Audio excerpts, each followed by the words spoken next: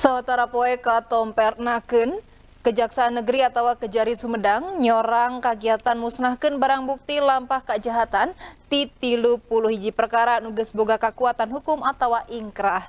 Eta prak-prakan musnahkan barang bukti anu dipimpin langsung ku Kejari Sumedang teh di buruan kantor Kejari Sumedang di Pajukalon Aman tulta lancar. Kejaksaan Negeri atau Kejari Sumedang nyorang kegiatan musnahkan barang bukti lampah kejahatan ti 30 perkara nuboga kekuatan hukum. Eta kegiatan teh dipimpin langsung ku Kejari Sumedang di buruan kantor Kejari sawatara waktu katompernakeun.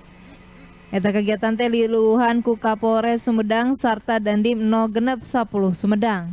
Kepala Kejari Sumedang Yeni Tasari ngebrehkeun eta barang bukti teh mangrupa barang bukti anu geus boga kekuatan hukum atau ingkrah.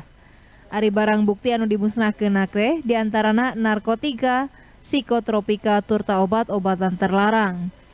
Barang bukti anu dimusnahkeun teh nyaeta sabu 32,8 gram, ganja 302,8 gram, psikotropika jenis aprazolam 34 siki, Riklona 2 siki, serta Clonazepam 2 mg 80 siki.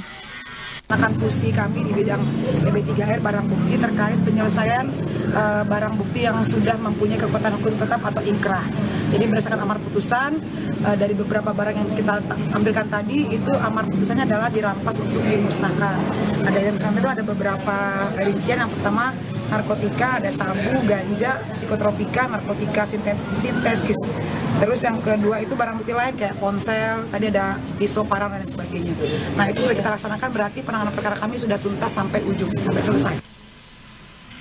Liantik itu barang bukti anu dimusnahkeun nate nyaeta tembakau gorila anu jumlahna 170,7 kg, HP, jaket, kantong sarta pakarang.